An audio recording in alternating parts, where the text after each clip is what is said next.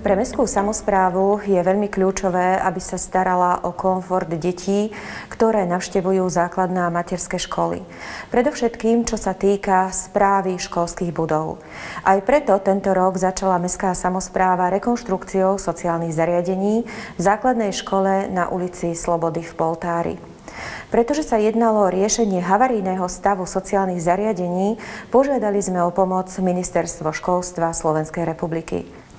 To nám poskytlo finančnú pomoc a spolu s vlastnými finančnými prostriedkami nás rekonštrukcia sociálnych zariadení v priestoroch základnej školy vyjde na 56 tisíc eur. Využili sme aktuálny prázdninový čas detí, aj preto, aby sme výchovno-vzdelávací proces v základnej škole nenarúšali.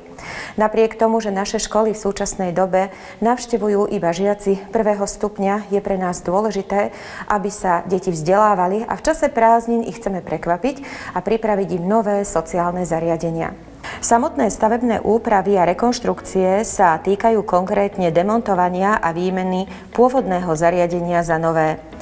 Pôvodné priečky v toaletách boli kovové a budú nahradené klasickým priečkovým murivom s keramickým obkladom. Rekonštrukcia sa okrem výmeny zariadenia týka aj kompletnej obnovy rozvodov. Stavebnými prácami dôjde k výmene dlažby a obkladov stien. Nové priečkové murivo je o výmere 65 m štvorcových a osadených bude napríklad aj 28 nových dverí.